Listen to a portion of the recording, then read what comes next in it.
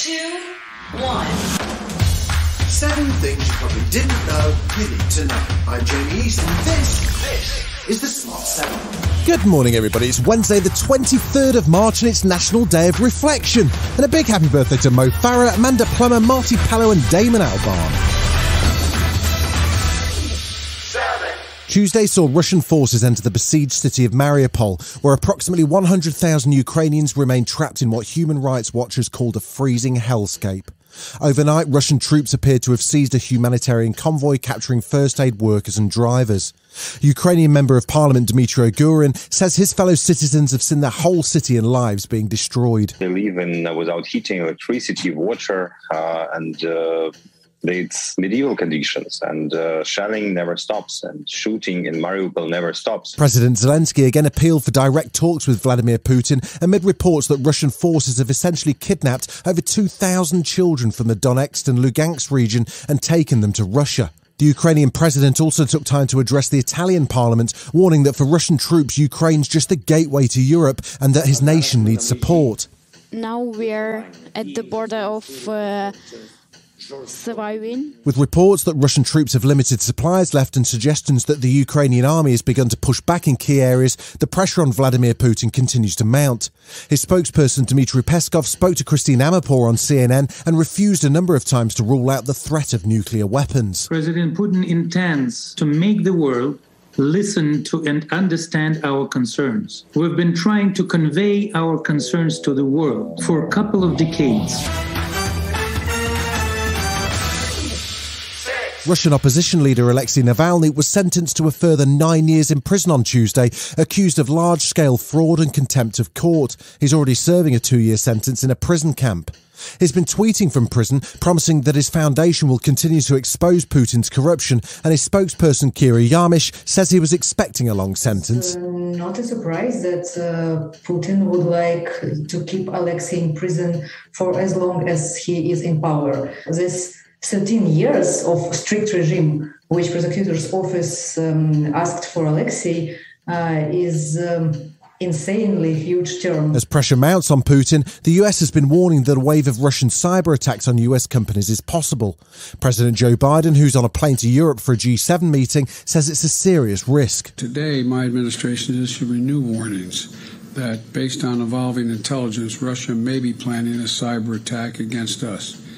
As I said, the magnitude of Russia's cyber capacity is fairly consequential, and it's coming.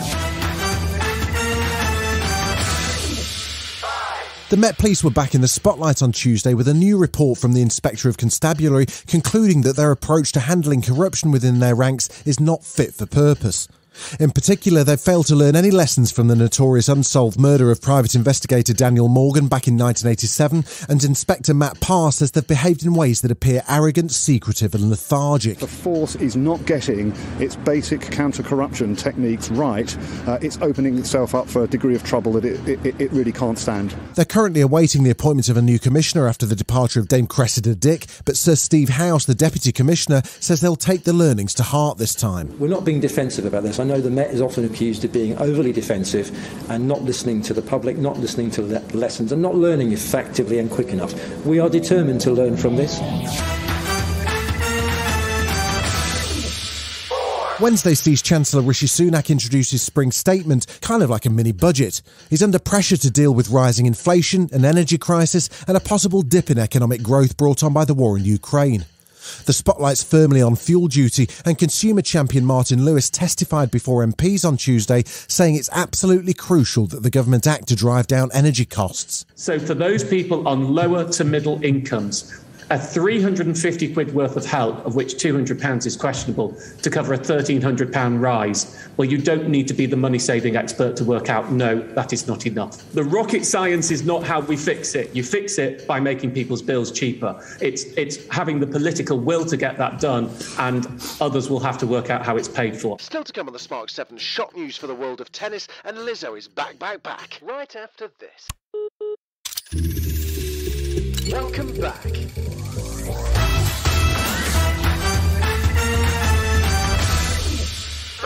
In tennis, world number one Australia's Ash Barty has stunned the sporting world by announcing she's retiring aged 25.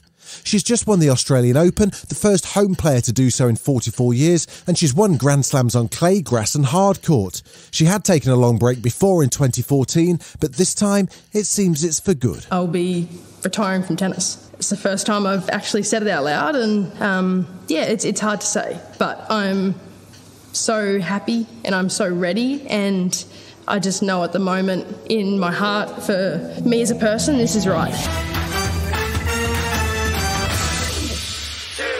Lizzo's back with a new single called About Damn Time. It's the first track from a new album which took three years to complete.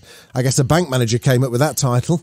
She popped up on James Corden's show to give him a vinyl copy of the single, but also got into a sing off, and she really nailed Harry Styles' Watermelon Sugar.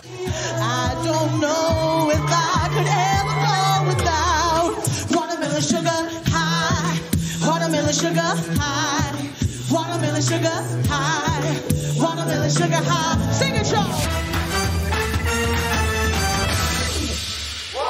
Jimmy Savile was one of the UK's favourite charity fundraisers and TV personalities, but shortly after his death in 2011, it became very clear that he was actually a sexual predator hiding in plain sight. An investigation led to more than 450 allegations of abuse, with some victims as young as five. There's currently a BBC drama in production called The Reckoning, which sees Steve Coogan transform into the DJ and presenter, but Netflix have got to the story first. Their documentary is called Jimmy Savile, a British horror story, and it examines through extensive archive footage the evil within Jimmy and delves into how he managed to fool an entire nation for four decades. It drops on April the 6th. I am a voluntary helper. Sometimes, when nobody's looking, I help the lasses. It turns out everywhere he'd been, there'd been abuse. Has got a seat that can catch me out, ladies and gentlemen? The nation created Jimmy Savile. I'm not in your world. I'm not constrained by anything. This has been The Smart 7. Wherever you're listening, do us a favour and hit the follow button. We'll be back tomorrow at 7am. Have a great day. Written, produced, and published by Daft Doris.